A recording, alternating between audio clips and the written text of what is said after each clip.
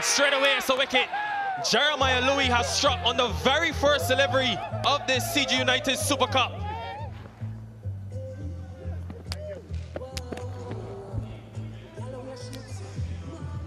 Well, that's a fantastic catch. Couldn't ask for a better start. Goes Ariel, hasn't quite got it, and there's a long off waiting, and the long off takes it. And it's two in two for the Leeward Islands. What a start this is after winning the toss. Clever bowling. Give me that a little bit more here. Rahkeem Cornwall. And the fielder looked a little bit in doubt at first, wasn't sure where he was from the boundary ropes. He's latched onto that, but there is a man in the deep. May have just misjudged it. And in the end, I think it's hit the rope on the fulls. Kevin Wickham early, just breaking the shackles.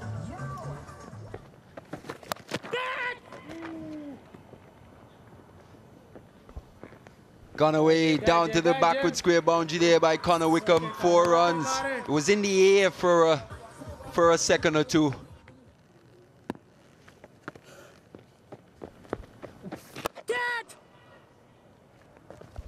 In the air again down to Ward and oh, oh it looks like a good effort. Didn't manage to, to hold that one but pushed it back. I think we're going to have a replay of that one to see whether he actually saved six runs there, Terence Ward. Took a good catch earlier as well down there on the long on boundary. But uh, looks like he saved that one, Mr. Croft. Fantastic work. Lots of open spaces and just as you said, Colin Croft let that ball come on, found the gap outside that off stump, presented by with width by Colin Archibald. Uh, four runs to to Wickham.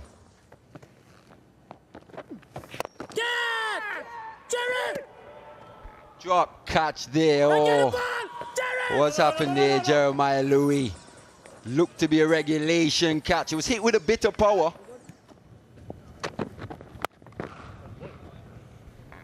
Long hop there from Colin Archibald and dispatched by Wickham. Pitch the ball up. Innovative stroke there. Kevin Wickham. Reverse sweep of Kofi James. Four runs. Moves on to 40. Looking good. Oh, chance, chance. Taken. Poor old Kevin Wickham. He's batting so well, wasn't he? He was pulling so well. That ball was there to hit.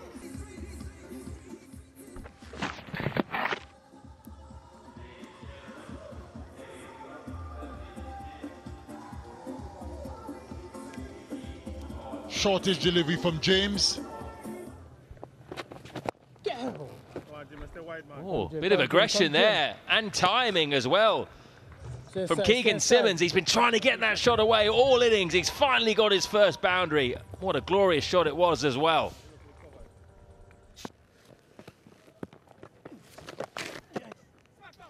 Swept well, and that's going to be another boundary for Simmons. The first one he made himself came down the track. Beautiful timing. That one was a bit more of a freebie. James erring in his line. Oh, I tell you what, that was in the air, right through the gap. Good bit of fielding on the boundary. I think he might have saved that. We'll have to have a look at that. But that was almost a fourth wicket. That was catchable height just to the right of Rahkeem Cornwall.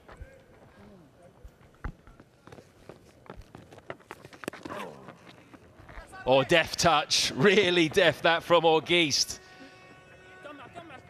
Good effort by the fielder, but that's gone away for a boundary. Enjoyed that.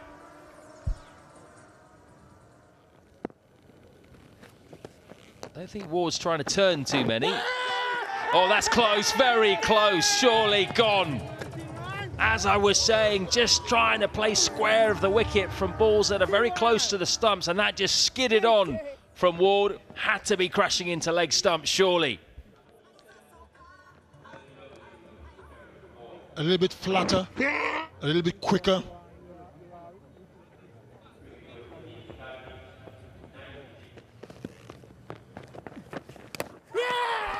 Bat on it. And the celebrations begin. A huge wicket and persistent pays off for Kofi James. He's really put together this spell well and he's deserved that wicket. And when you get a ball to bounce like this, wrong shot, there is no future in that. The only thing that could be hit here is the edge. Oh, that's bold. Finally, the long vigil of Kevlon Anderson comes to an end. And what a strange way to get out as well. Again, the pace taken off that. And he's managed to glove that delivery, which looked like it was heading down leg side, back onto his stumps.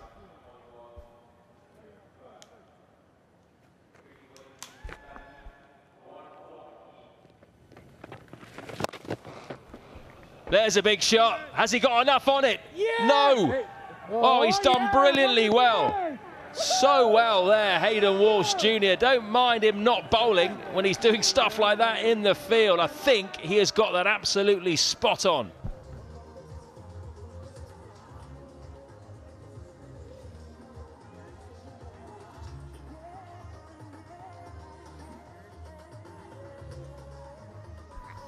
Absolutely nothing wrong with that, and Joshua Bishop knows it. He's gone big and he's just got enough on it. Straight back over the bowler's head. And what an introduction into the attack for Jeremiah Louis. As soon as pace back on the ball, the West Indies Academy looking much more promising. More fortune for Joshua James. Sometimes fortune favoring the brave. Over the keeper's head. And a first big over in a long time for the West Indies Academy. First a maximum, now a boundary. Rahkeem Cornwall continuing. James down the track again. Hasn't got it this time, hitting into the wind. And it's easily taken. Continue with the spinners. They've been bowling extremely well. And Joshua James hitting into the strong wind.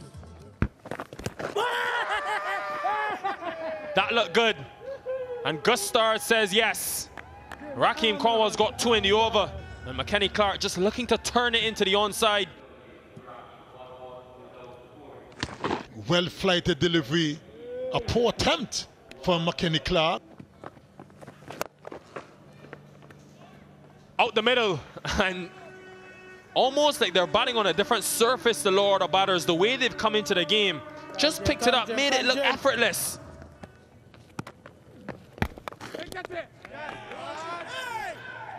And there you go. You just called it Mali. Devon Thomas just fending something straight to first slip. Well, that was an extremely wide delivery. Why did he go for it? Fabulous shot there. Keacy Carty showing his class. Presented with width. Edge taken. Second chance. He parried it and then took the rebound. That was sharp. You must be a soothsayer. You called it bad shot. He's waiting and moving backwards to the leg side. Nicely caught there by uh, Bishop. That's Teddy Bishop. There's the big shot chance. Taken. That's a good catch. Running back, never easy those. Just backpedaled the man at backward point. The ball was spinning as well. Well, I hope you have the lottery numbers because he called this one too. He's trying to hit that right out of the park. Again, that's another drag down. That's punished by Carty. Not a good start this by Kevlon Anderson. Is it going to go to the boundary just? Bit of a freebie, you'd have to say. You don't see that too often. With the floodlights on, he's going to put the light meter on top of the stumps and take a reading. Now, as I look around, it looks as though the lights are fully on.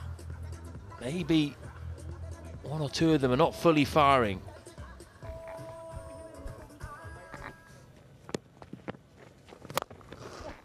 Big shot this time. And good awareness from Keacy Carty because the mid-on was up in the circle. Hitting against the spin, but he's backing himself. And that will help take some of that pressure off. Gone all the way for a maximum.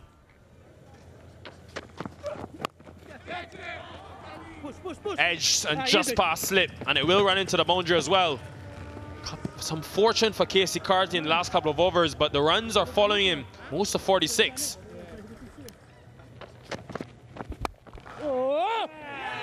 Straight to the man, and it's a wicket for Joshua James. At first, subdued celebrations, but Jamar Hamilton is livid, and that could be the wicket the Academy need. Certainly a very big wicket for them. Went in the air all the way. Well hold uh, in the end. James celebrates.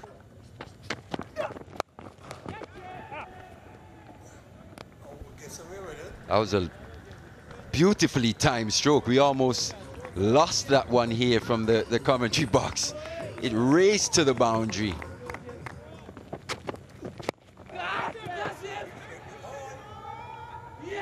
Well, that man at mid-off takes the catch. But this is pressure. This is pressure allowed that shot. He's trying to get the ball away from a, an over that hadn't scored too many. He tried to hit that. It hit the top of the bat, the splice.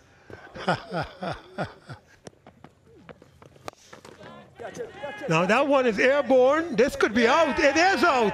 That is the wicket that they needed. The West Indies Academy. Exactly the reason that Joshua Bishop was brought back to get a wicket. It's one of the big ones. This is Rahkeem Cornwall. He's trying to hit that maybe over long on. It bounced, it bounced, and he just couldn't control it. So the bowler himself decides, I'm going to take this. Shot up and over the offside. Didn't try to overhit. That is pure class from Keacy Carty. There is po the possibility of going up and over cover, which we've seen once already from Keacy Carty. Not an easy shot, though. Comes down and hits straight and hard. That is a proper shot all the way. He's a talented young man. Can he lead his side over the line here? 17 not out now. Yeah. That's pulled up in the air, but quite a long way. All the way. I think that's just crept over the line. It has. Terence Ward getting in on the action. That's gone a long way, that pull shot.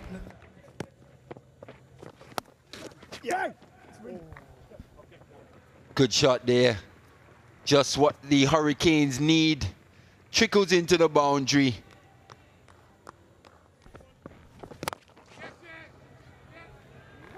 Very much so on, on this one. Finds that gap through cover. Starting to time the ball quite sweetly now, uh, Terence Ward. He spent a bit of time. James again in there, but inside edge goes away down to the fine leg boundary. Keacy Carty has had a bit of luck tonight, but he's he's ridden that luck. Sweetly timed. That's a shot. That's a man full of confidence, Courtney Walsh. The way he stood tall.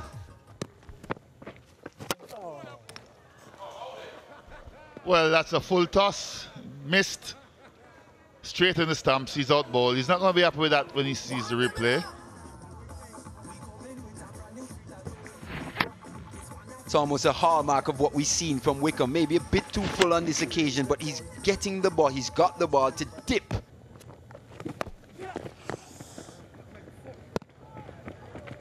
Deft. Deft stuff from Keacy Carty.